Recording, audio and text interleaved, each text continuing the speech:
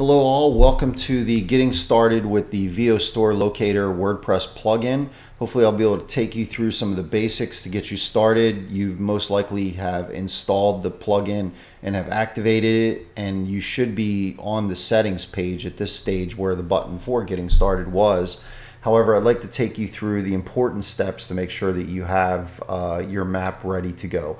Most importantly, uh, Google now requires a API key be set to use their maps. The map key should be set up first and foremost to make sure that both the map shows up correctly on the visitor side as well as all of the locations that you'll be adding here shortly uh, get properly geolocation uh, geolocated. If you do see errors while you're geolocating, please check your API key. We've made it very easy for you to do. Simply click on the Get API Key link. It will automatically open up in the Google uh, console. You might be prompted to log in with either your existing Google account or uh, you'll you can quickly create a free Gmail account to, to uh, capture the API key. Once that is all done, you'll have all of the libraries necessary automatically selected. Uh, we've built that into the link. So the only thing you'll have to do is uh, step through, I think it's a three step process to create your API key. Once that is done, uh, you'll have the option to copy that API key back to your clipboard. Using that process, simply just basically paste this back in this uh, in this box here and pull down to update your settings to make sure that properly gets saved. Once your API key is set, you both should be able to see the maps appear on the, um, the visitor side without any issues, as well as be able to go to our next step as far as adding locations. So with that, we're going to click on the locations link and inside locations, we've made it very easy for you to just go ahead and create listings using the autocomplete area. If you click on add listings, simply start typing here under find location and you'll start seeing the autocomplete show you suggestions. If you see something that was within your uh, within your search, simply select it and it will automatically populate all of the address fields with the information from Google Complete go through and complete the name of your listings as well as all the additional information that we have here and upload a picture uh, for that listing.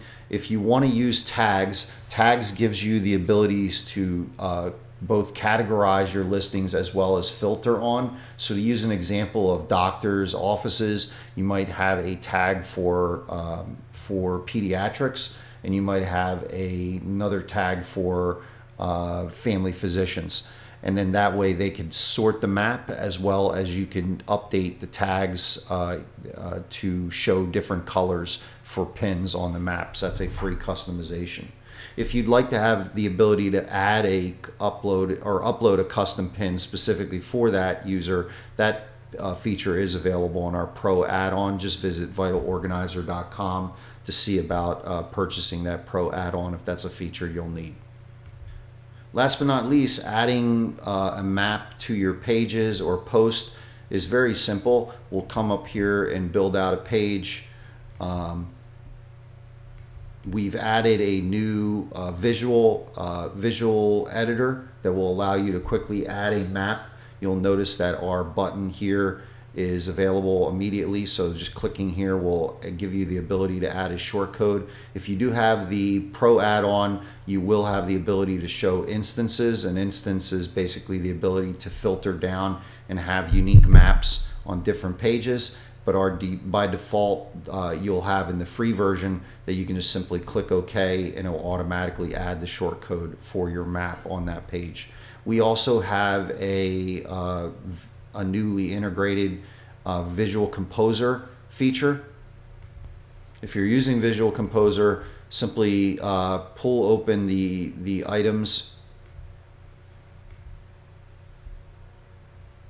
where you'll be able to set the different shortcodes, uh, different shortcode instances if you need be. And to add an, uh, a new map element, you simply come up here and you'll notice our VO Store Locator element uh, that's available within the element listings of the visual composers. And that's it. Just make sure you save your page when done editing it.